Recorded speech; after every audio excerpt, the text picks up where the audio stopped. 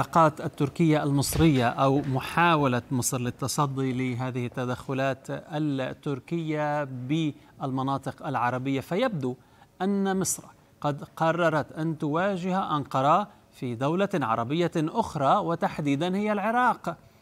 وفي مطلع شهر يونيو الماضي شن الجيش التركي هجمات جوية وبرية استهدفت فيها حزب العمال الكردستاني في إقليم كردستان شمال العراق. أطلقت على هذه العملية العمليات الجوية مخلب النسر بحسب التوصيف.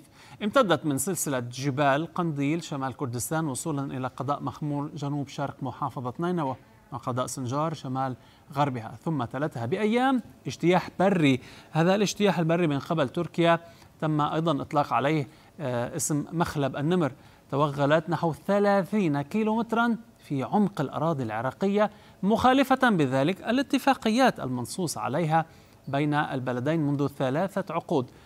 بعد الضربات الجوية اتهمت بغداد أنقرة بانتهاك سيادتها وعدم احترام المبادئ مبادئ علاقات حسن الجوار. مصر كانت أول المساندين للعراق حيث سرعان ما بادرت إلى توطيد, توطيد العلاقات وعرضت الدعم الدبلوماسي والسياسي في التاسع عشر من يونيو أدانت الخارجية المصرية التدخل العسكري التركي وفي الثالث من يوليو أدانت الخارجية المصرية مرة أخرى الانتهاكات التركية المستمرة للسيادة العراقية.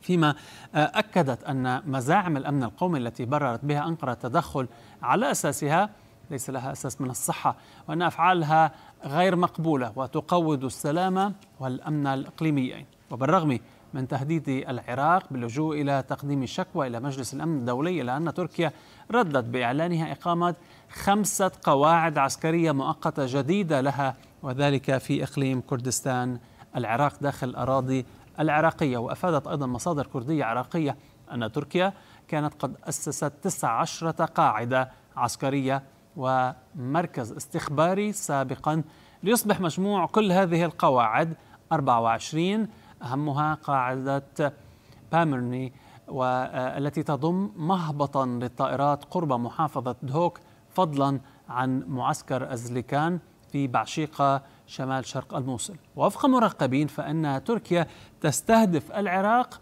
لسببين.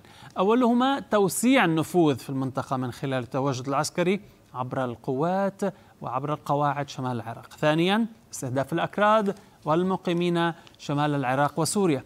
ويرى المراقبون أن مصر تحاول إحباط هذه الخطة الخطة التركية في العراق بالاستفادة من التقارب العام وقبول الدور المصري لهذا السبب حيث عززت إجراءاتها الدبلوماسية من خلال الجامعة العربية ووزارة الخارجية وذلك بغرض دعم العراق.